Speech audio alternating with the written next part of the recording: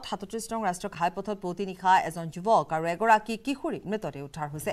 তেজেৰে তুমুৰলি হৈ হৈ পৰি থকা অৱস্থাত উদ্ধাৰ হৈছে বাইছ বছৰীয়া পলাশ গগৈ আৰু ষোল্ল বছৰীয়া লাকী মেচ নামৰ কিশোৰীৰ মৃতদেহ। কাষতে চুচুৰম হৈ অৱস্থাত আছে উদ্ধাৰ হৈছে বাইকখন। গাড়ী খুন্দাতে ধুৰিৰে মৃত্যু হোৱাৰ বুলি সন্দেহ প্ৰকাশ কৰা হৈছে।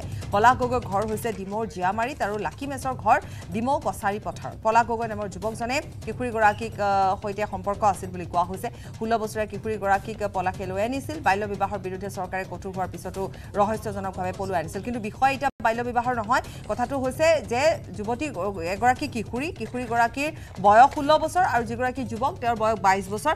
দুয়োগৰাকী হয়তো এটা দুৰ্ঘটনাত পতিত হৈ মৃত্যু হৈছে কিন্তু এটা শোকাবহ দুৰ্ঘটনা সংঘটিত হৈছে। আৰু এই দুৰ্ঘটনাটোত দুয়োগৰাকীৰে মৃত্যু হৈছে। বাইক দুৰ্ঘটনাগ্ৰস্ত হৈছে। প্ৰদীপ গগৈ আছে। প্ৰদীপ গগৈ দুৰ্ঘটনাটো কেনেকুৱা সংঘটিত হ'ব পাৰে? কাৰণ এতিয়ালৈকে সন্দেহৰ আৱৰ্তত আছে যে সেয়া এটা দুৰ্ঘটনা হ'ব পাৰে বুলি। বাইকখন দেখি সন্দেহ প্ৰকাশ কৰা হৈছে।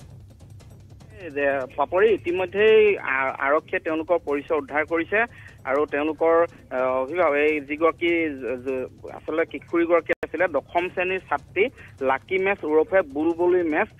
বুলবুলি মেচক তেওঁৰ যি অভিভাৱক আছে তেওঁলোকৰ অভিভাৱক ইতিমধ্যে শিৱসাগৰ সদৰ থানাত উপস্থিত হৈছেগৈ।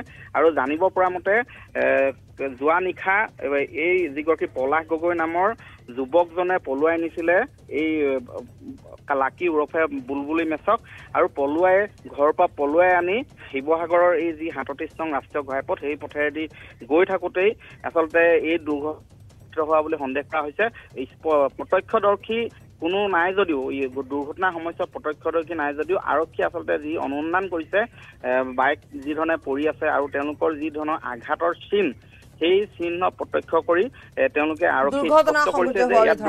ধন্যবাদ জনাইছো। পুনৰ কৈছো আমি যে দুগৰাকী ইতিমধ্যে তেওঁলোকৰ মৃতদেহ চিনাক্ত কৰিছে আৰক্ষীয়ে চিনাক্ত কৰিছে। এগৰাকী পলাশ গগৈ আৰু লাকী মেচ বুলি কোৱা হৈছে। কিশোৰীগৰাকী দশম শ্ৰেণীৰ ছাত্ৰী।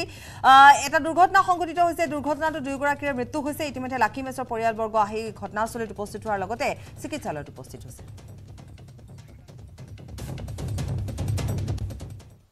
আৰু খবৰ আছে। সময় বিৰতি।